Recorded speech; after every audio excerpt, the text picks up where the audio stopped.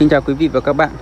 Trước mắt các bạn đây là một giống hoa hồng đỏ tươi Đang quay ờ, thực tế tại vườn hồng Hồng Thịnh ờ, Ở Tứ Mỹ Tam Đồng Phú Thọ.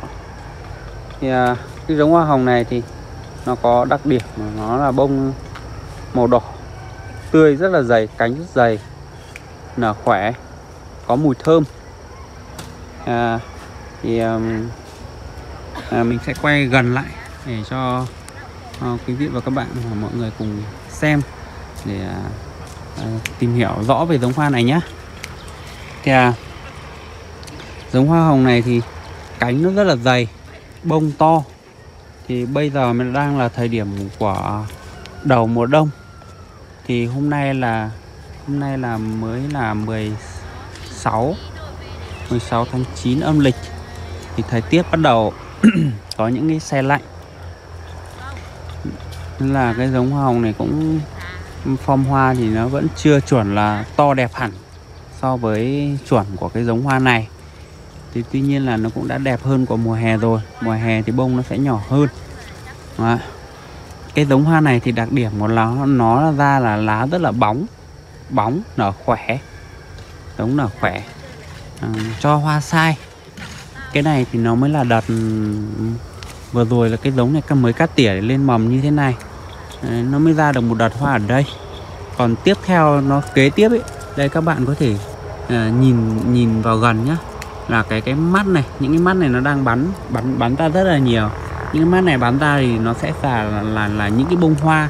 Đây cái này là nhìn tất nhọn nhất cái này bông nó đã tàn rồi. Cái bông này nó đã tàn rồi mình chưa kịp cắt. Chưa kịp cắt nó đã nó lại bắn tiếp ra đây nó lại ra hoa tiếp. Ừ. nó nó hoa nó rất là nhanh đấy đây cái cảnh này thế. Đây là cái này nó vừa tàn xong nó đã, đã bắn một cái nhánh mới. Cái giống hoa này cái giống hoa Republic de Montmartre này là cái giống hoa hồng leo. Gọi là bán leo thì chính xác hơn. À, nhưng chúng ta có thể là chơi bụi được. Đây nhưng quý vị và các bạn có thể nhìn thấy. Mình quay xa ra cho các bạn xem nhé. Đây như này là nó thành bụi chứ không phải là leo.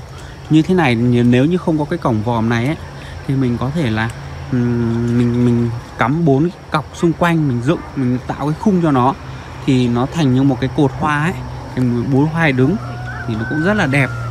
Chứ không phải như những một số cái dòng hoa bụi khác nên nó thành một bụi xòe xòe ra. Mình cắt những cái giống hoa đấy thì thường những cái giống dòng hoa bụi đấy thì thường là mỗi khi cái hoa này nó tàn là phải cắt đều đi để cho nó bật cái mới. Nhưng cái như, như riêng cái giống hoa này thì đặc điểm mình mình thấy ghi nhận được là đây như cái cái nhánh này này nó chưa kịp tàn. Chưa kịp à, cái nhánh này nó đã tàn nó đã tàn thì mình chưa kịp cắt. Nó nó nó đã nở những cái nhánh mới để chuẩn bị là cho sẽ cho hoa hoa đợt ừ, tiếp theo. Nên là nó gọi là lọc hoa rất là nhanh. Nên là ừ, mình khuyên một lời khuyên nếu mà những cái dòng cây hoa bụi thì mình nên là để cho nó nở đồng loạt.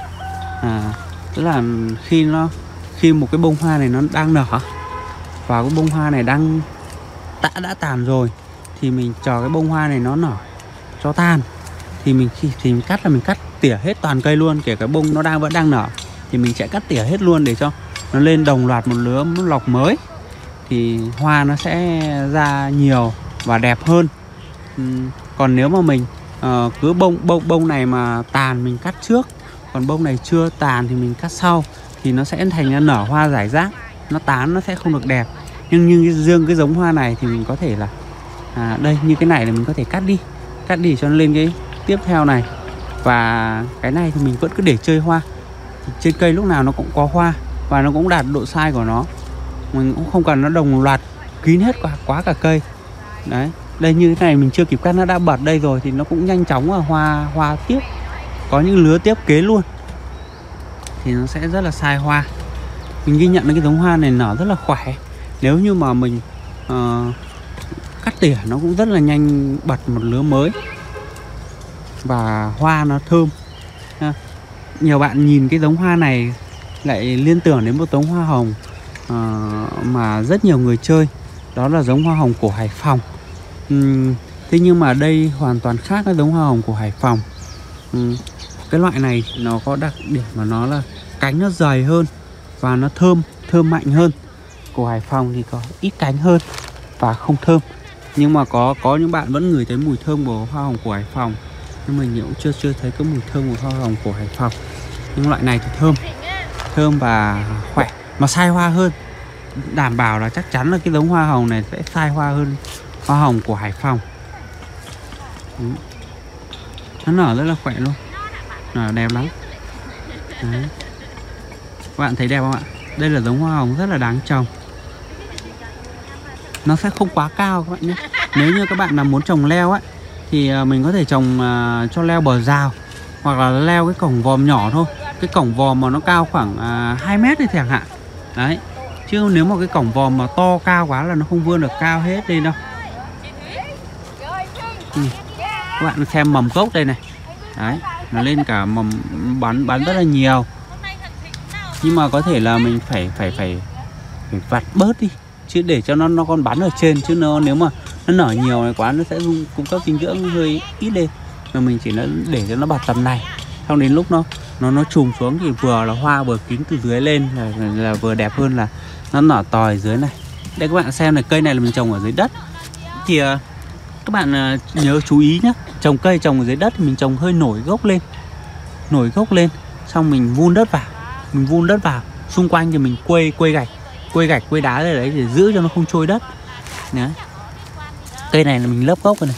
Cây này là mình trồng cây gốc ghép các bạn nhé. Nhiều bạn sẽ hỏi không biết trồng cây gì. Nhưng mà mình cái cái phần mất ghép mình đã lấp lấp đất vào rồi. Mình lấp lấp kín lên rồi. Đấy. Cái mầm nó đang trồi rất là nhiều luôn. Giống khỏe. Lên đẹp.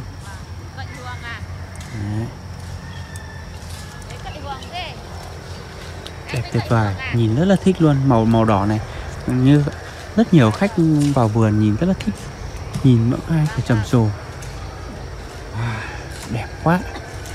À, bây bữa này vẫn là thời gian đầu mùa thì mới quay được ít này thôi. Còn hôm nào đấy lại có nhiều giống hoa hồng khác nữa lại quay tiếp cho các bạn xem nhá. Hôm nay mình sẽ dừng video tại đây trong cái giống hoa hồng này. Còn sau mình sẽ quay một hướng video review những giống hoa à, hồng khác.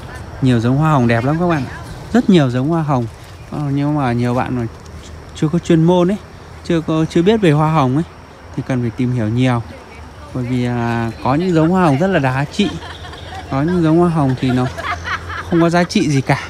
Nhưng mà các bạn không chuyên thì các bạn thấy nó cứ đẹp là các bạn ừ, thích bê về thôi. Nhưng mà có thể nó không phải là giống à, giá trị mà không phải là cái giống mà ưa chuộng mọi người chơi.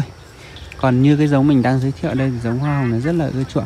À, còn sẽ có những các bạn hỏi là ừ, tuổi thọ giống hoa hồng là bao lâu? À, thì ừ, nó sẽ phụ thuộc vào tùy giống. Còn tuy nhiên riêng cái giống hoa hồng này đảm bảo các bạn là trồng cây này thì phải chơi vài chục năm trở lên. Còn hàng trăm năm thì mình không biết được bởi vì là mình chưa chưa trải qua nên mình không dám nói. Nhưng chắc chắn là nó sẽ được vài chục năm. Vì cái giống này à, mình cứ hàng năm các bạn trồng và chăm sóc và đốn tỉa như những cái video mình đã giới thiệu với mình đã chia sẻ với các bạn là đốn tỉa để trẻ hóa cây hoa hồng hàng năm. Để cho cây hoa hồng nó nó nó đẹp hơn. Đấy. Nó nó, nó để cho cây hoa hồng nó khỏe nó trẻ nó trẻ cây. Chứ trên nhìn các bạn nhìn cây nhá. Đấy nhìn cây này đấy nó không có một cái cành nào khô cành cong keo gì cả. Đấy toàn những cái cành đẹp thôi. Đấy, không có cành xấu. Nhìn cây nó phải sạch sẽ như thế.